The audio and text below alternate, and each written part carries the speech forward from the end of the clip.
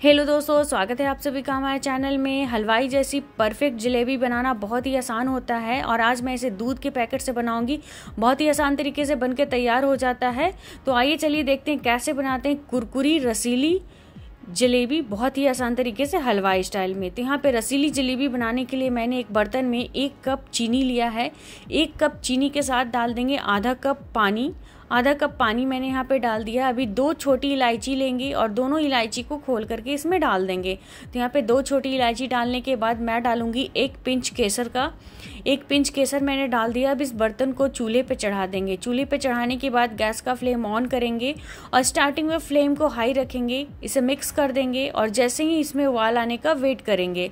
धीरे धीरे इसमें उबाल आ जाएगा। जैसे ही इसमें उबाल आएगा, गैस का फ्लेम बिल्कुल स्लो पे कर देंगे और वेट करेंगे जब इसमें एक तर बनने वाला हो। हमें एक तार की चाशनी नहीं चाहिए।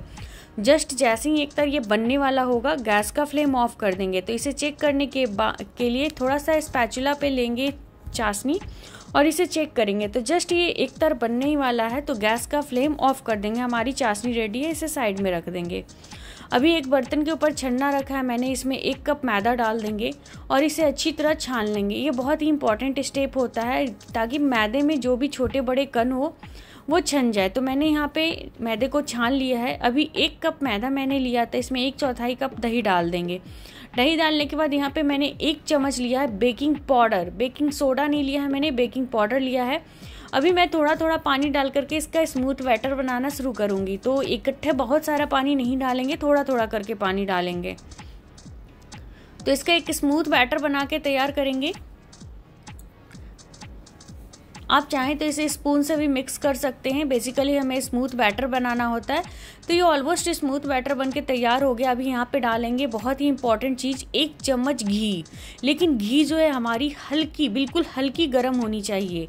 तो मैंने यहाँ पे एक चम्मच घी डाला। अभी मैं डालूँ एक pinch food colour orange food colour मैंने डाला। टोटली ऑप्शनल है डालना, हलवाई बहुत, हलवाई ज़रूर डालते हैं इससे बहुत ही बढ़िया जलेबी में कलर आता है। तो आप देख सकते हैं हमारा बैटर बिल्कुल तैयार हो गया है।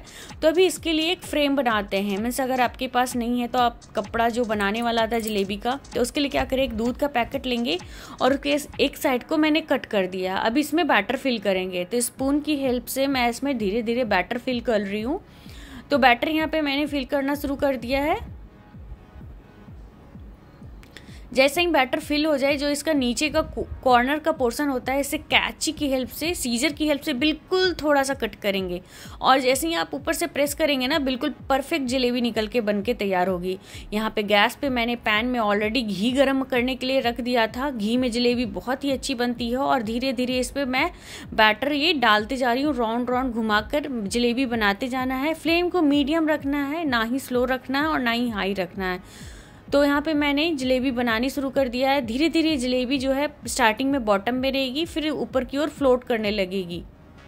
और एक साइड में आप देख सकते हैं, मैंने शुगर सिरप भी रखा हुआ है।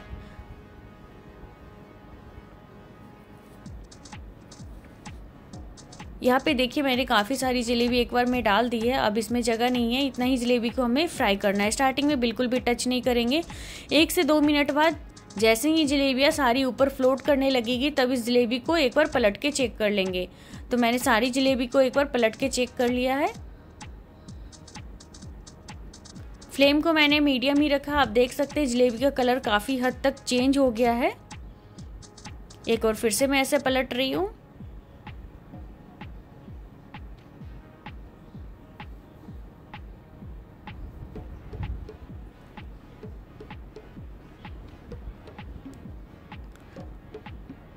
तो यहाँ पे देख सकते हैं कि हमारी जलेबी जो हो, है, वो कंप्लीट हो चुकी है, अच्छी तरह सिक गई है।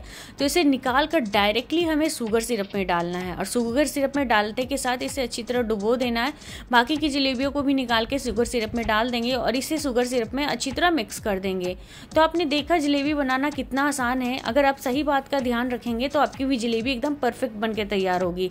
तो यहाँ पर हमारा एक बैच बन तैयार हो गया है। दूसरा बैच मैं डाल रही हूँ जलेबी का। आप देख सकते कितना बढ़िया दूध के पैकेट से ही जलेबी बन के तैयार हो रही है। बहुत ही आसान है और दूध का पैकेट तो हर किसी के घर में ईजिली मिल जाता है।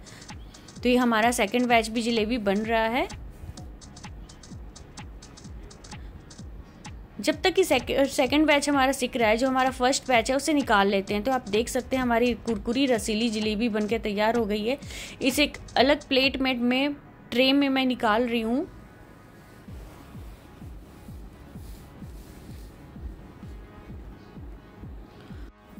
तो ये हमारा दूसरा बैच जलेबी का भी बन के ऑलमोस्ट रेडी हो रहा है। इसे भी मैं बाहर निकाल के शुगर सिरप में डाल दूँगी। इमिडिएटली इसे हमें शुगर सिरप में डुबोना होता है। तो सारे जलेबी को निकाल कर इसी तरह शुगर सिरप में मैंने डाल दिया और इसे सर्व करने के लिए मैं सारे जलेबी को एक ट्रे में निकाला तो आप दे, आपने देखा कितना आसान होता है रसीली हलवाई स्टाइल जलेबी बनाना? तो फ्रेंड्स मेरे बताए तरीके से एक बार एक कुरकुरी जलेबी ज़रूर बनाएँ। आप सभी को ज़रूर पसंद आएगा। अगली बार फिर मुलाकात होगी एक नई रेसिपी के साथ।